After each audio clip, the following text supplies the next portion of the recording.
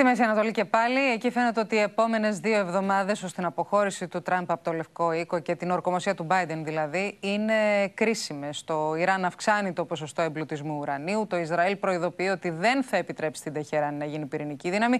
Και ο Τραμπ κάνει κινήσεις που αφήνουν όλα τα ενδεχόμενα ανοιχτά. Θα μας τα πει αναλυτικά ο Σωτήρης Δανέζης. Σωτήρη.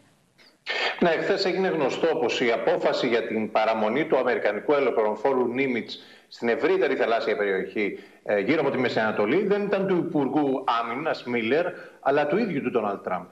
Είναι κοινό μυστικό πως η Αμερικανική και η Ισραηλινή ηγεσία ευθυγραμμίζονται νίκη στο θέμα του Ιράν και σε αυτή τη φάση κανείς δεν μπορεί να αποκλείσει ένα συντονισμένο χτύπημα κατά των πυρηνικών εγκαταστάσεων της Τεχεράνης, ειδικότερα μετά την απόφαση του Ιρανικού καθεστώτος για ενίσχυση της διαδικασίας εμπλουτισμού ουρανίου σε ποσοστό 20%.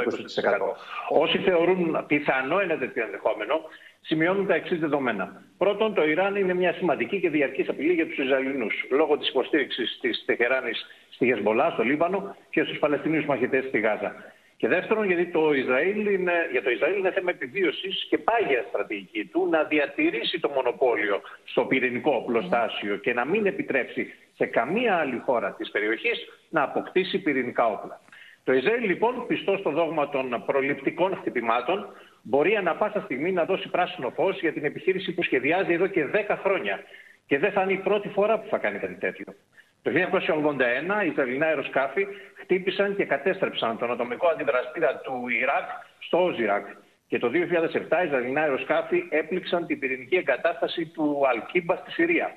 Επίσης, μέσα σε μια διετία, αρχής γενομένης από το Γενάρη του 10, η Μοσάτ πιστεύετε ότι οργάνωσε τι δολοφονίε τεσσάρων κορυφαίων Ιρανών πυρηνικών επιστημόνων, ενώ θυμίζουμε και τον περασμένο Νοέμβρη δολοφονήθηκε στην Τεχεράνη με τη χρήση λογισμικού τεχνητής νοημοσύνης ο αρχιτέκτονας του ειρηνικού πυρηνικού προγράμματος, ο καθηγητής Φαχριζαντέ. Και η Τεχεράνη βεβαίως κατηγορεί λοιπόν... το Ισραήλ για αυτό το χτύπημα. Ναι. Σωστά. Τα γεράκια στο Ισραήλ και στο Οβάλ Γραφείο σκέφτονται και κάτι ακόμη. Τα προβλήματα που θα προκαλέσει ένα στρατιωτικό πλήγμα στη διπλωματική προσπάθεια προσέγγισης του Ιράν από την νέα κυβέρνηση, από την κυβέρνηση Biden.